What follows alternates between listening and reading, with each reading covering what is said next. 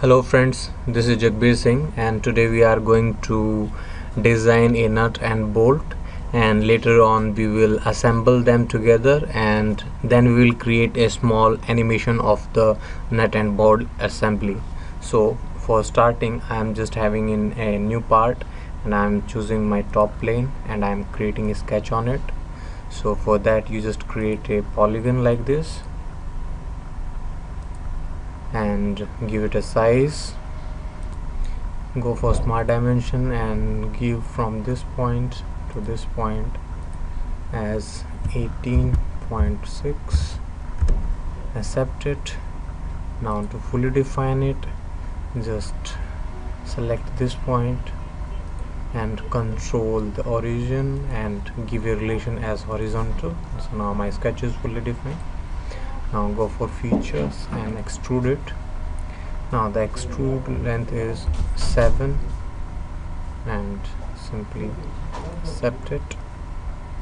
Now on this plane you just uh, on this face just create a sketch like this make it normal to view and go for a circle. From this origin try to touch it the edge and now you select your circle control the edge and give a relation as tangent. Now make it isometric and go for a extrude cut. Now make sure you flip it outside. Now you see this direction it should like this and go for a draft of 60 degree and accept it. Now you will get like this. Now you have to select this face and go for a sketch. Make it normal to the screen. And go for a circle here. Give it a dimension of 10 mm now orient it by isometric and now you go for finish sketch and extrude it you make sure it's merge result and up to a depth of 45 now you get bolt like this but now at this edge you have to go for fillet here and to this edge give a fillet of 1 mm and just apply now at this edge you have to put a chamfer. So for that you go for chamfer select this edge and give also 1 mm 45 degrees and finish. Now you are getting a shape of a bolt now you select this face and go for a sketch. Because we have to create helix at this face so go for convert entities. Select this edge now and go for convert entities. Now you will get this sketch. Now you go features and go for curves helix and spirals. Now you will see go for height and pitch. The option is height and pitch and go for variable pitch. Now you have to tell here what is your height and what is the pitch for that particular interval. So for that simply go for height 0 and let's say pitch 2 and dia 10 for here you give height 25 and pitch again 2 and I again 10 so you are getting some spiral here. And for the third one you go for go for 27 same pitch 2 and height as 12 go here as 12 now you are getting something here. Now start angle make sure it is 0 degree and it is clockwise. Now you can see some portion is coming out. Why this is coming out you will get to know when we will be creating your threads. So now now just accept this. Now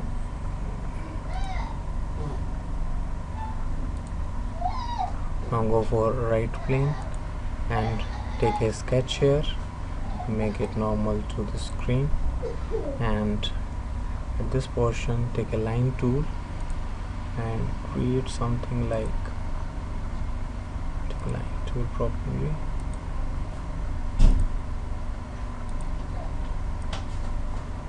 Now go for a, a center line and from this point to the mid of this line now select this point and this point make them horizontal and select this line control this line and the center line and make them symmetric.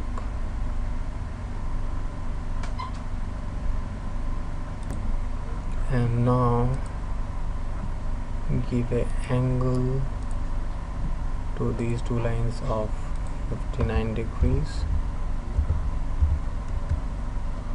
And this distance as from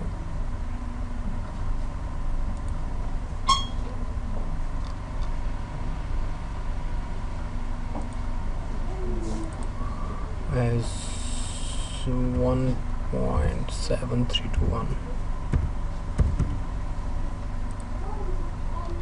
okay now. Take a central line from the mid of this to the mid of here. Now you take point and at the intersection here you place a point. Now you click escape first. You select that point control this helix and make them pierce after that you go for again a point and place somewhere here and take a center line. At the center of this edge you just create a center line and now go for smart dimension from this center to the point you created.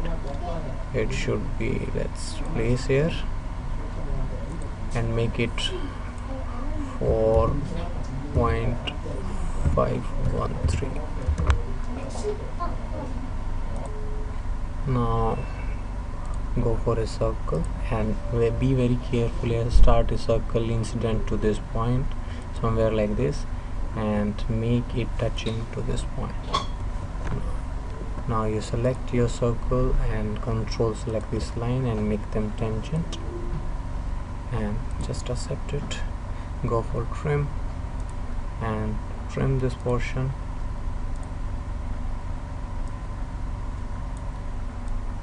This one. Now you trim this portion also. This one also. Now as this is not right, uh, right now fully defined because of the trim so simply do one thing. Just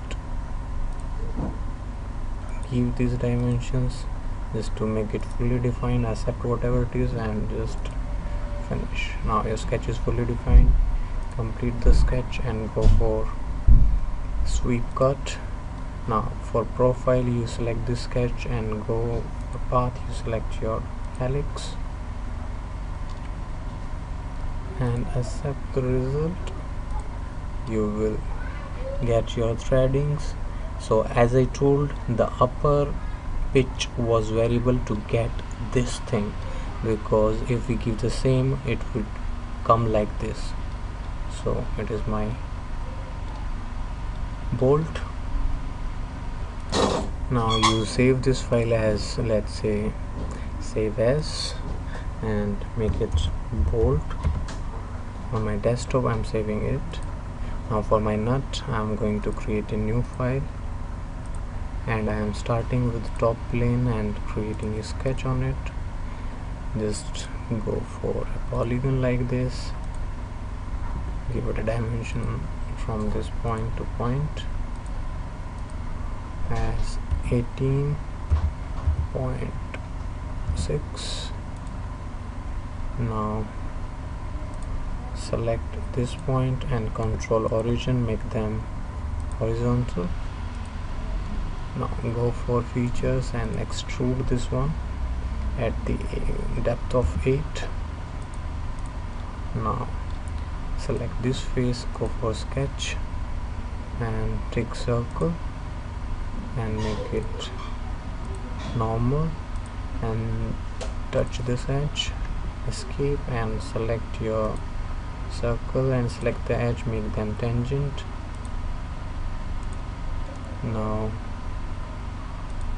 go for isometric and complete the sketch. Go for extrude cut. Mm, flip the direction and make a draft of 60 degrees. We'll get like this. You we are going to repeat the same thing on this face. So quickly go for circle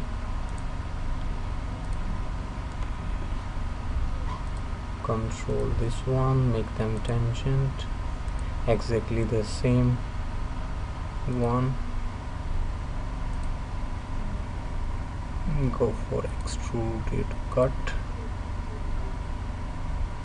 and draft of 60 degrees that's fine. Okay now we are getting our nut so select this face and go for a hole here.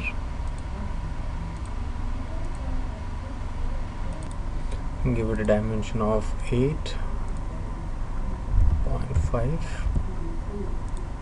now you can go for your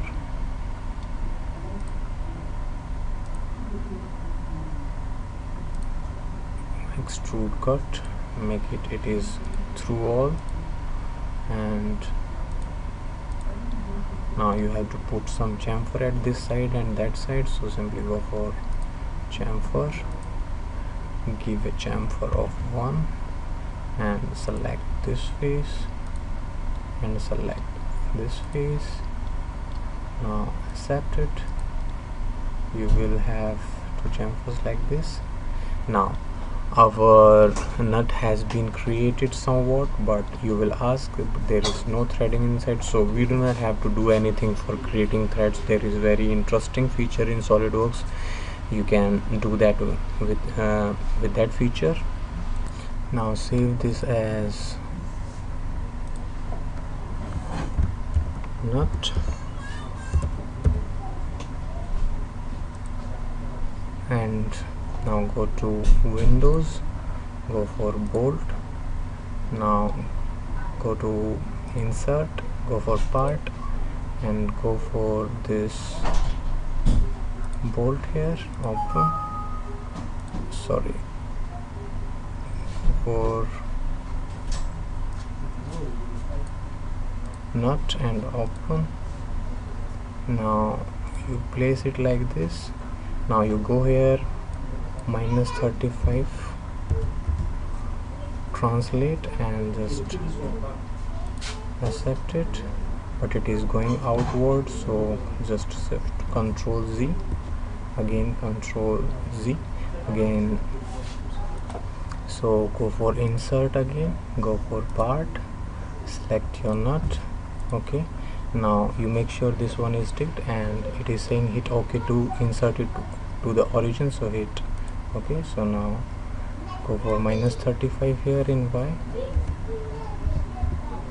And it will be like this. Now go for insert go for features go for combine and for go for subtract main body is this one and this is my body to combine now you will see it automatically created threads inside it. Now. Now again go for file and save as nut Now we want to make a little animation. so just save it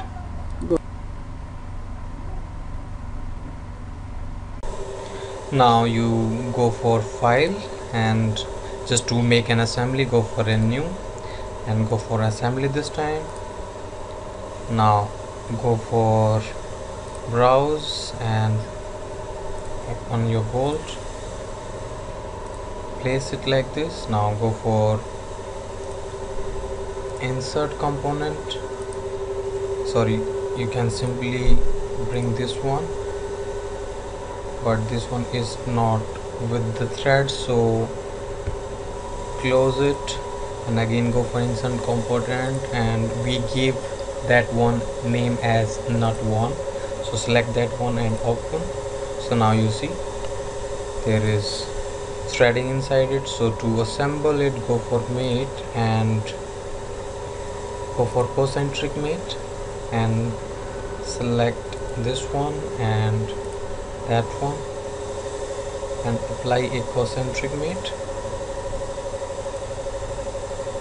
this phase one clear selection. Select this one. Select that one.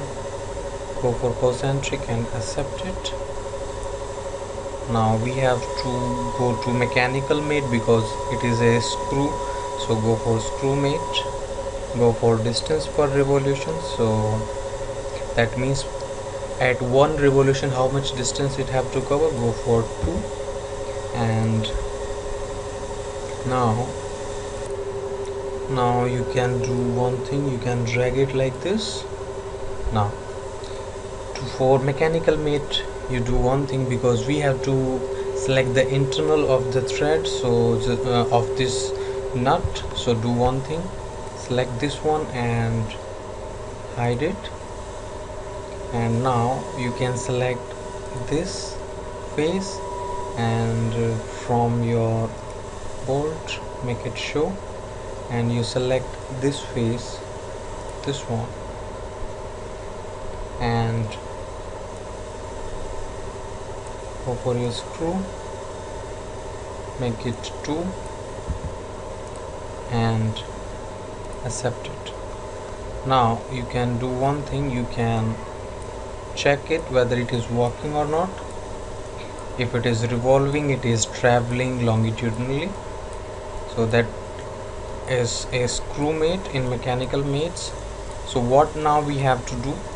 We have to uh, create an animation of this. So for that go to motion study go to motion study and add a motor here. But before we go to motor then simply right click here and go for check interference. Let's so do one thing before you go for motion study. Simply go for evaluate and go for interference detection because we have to check the interference. So calculate. It is going to tell me where the interference is. It is showing at this red area. There is interference so ignore this one. And now you save your assembly. So before you save you rebuild it. So that now give it a name as let's say assembly 2 is fine save now you can go for motion study.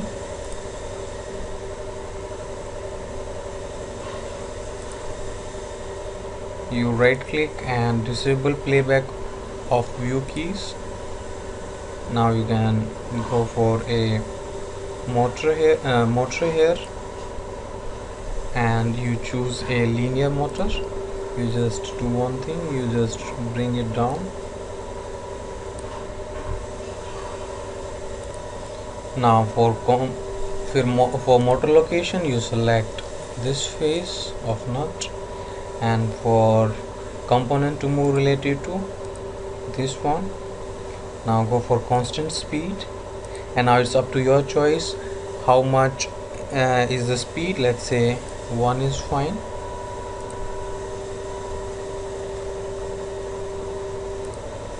So now simply go for finish it go for calculate. You can see now it is for 4 seconds. You can do one thing you can drag this one and you can increase this time. And now you can again go for calculate.